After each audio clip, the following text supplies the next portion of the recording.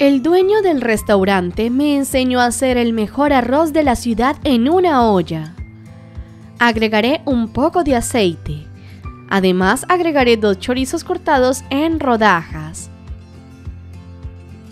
Luego agregaré 240 gramos de costilla de cerdo ahumadas y cortadas en trozos. Saltearemos estos ingredientes hasta que estén listos, más o menos de 15 a 20 minutos. Y así es como nos deben de quedar. Apagaremos la estufa y lo conservaremos por un momento. Aquí tengo 200 gramos de carne de cerdo para chicharrón cortada en trozos. La vamos a condimentar con sal y pimienta negra al gusto y mezclamos bien la carne con los condimentos. Llevaremos nuestra carne de cerdo al aceite, que debe de estar caliente. Dejaremos que se cocine primero a 15 minutos a fuego medio.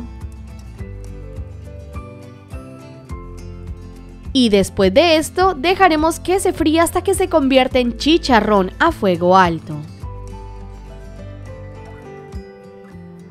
Una vez que está así doradito y crocante, este es su punto, lo retiraremos del fuego.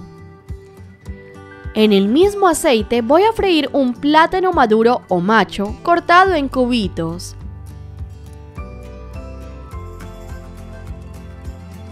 Y cuando esté así de doradito, lo retiraremos del fuego. Agregaré un poco de aceite en una sartén y luego 200 gramos de pechuga de pollo que ya debe de estar cortada. La condimentaremos con sal y pimienta negra al gusto. Y cocinaremos esta pechuga y doraremos durante 15 minutos. Y aquí nuestra pechuga ya está lista. Volveremos a nuestra olla con las costillas y los chorizos.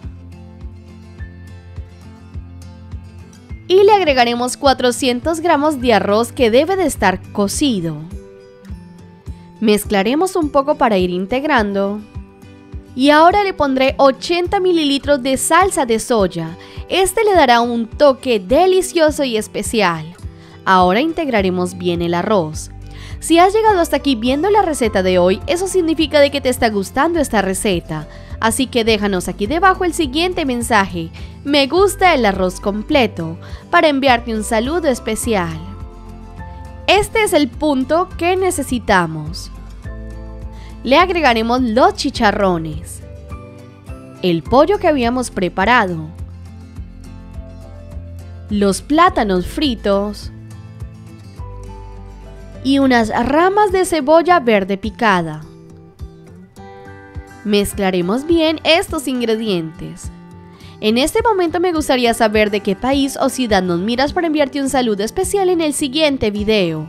Los saludos de hoy son para Magola Polo de Colombia y para Caleb Monestel de Costa Rica. Gracias por ver nuestras recetas. Finalmente le agregaremos media lata de maíz dulce precocido. Y aquí nuestro arroz ya estará listo. Revuélvelo. Y solo queda servir.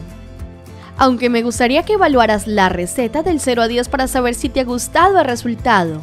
También me gustaría saber cómo se le conoce a este arroz en tu país. Si es la primera vez que miras una de mis recetas, no te olvides suscribirte en YouTube como Recetas Caseras y activa la campanita para que siempre recibas las recetas. Soy Natalia de Recetas Caseras. Nos vemos en un próximo video.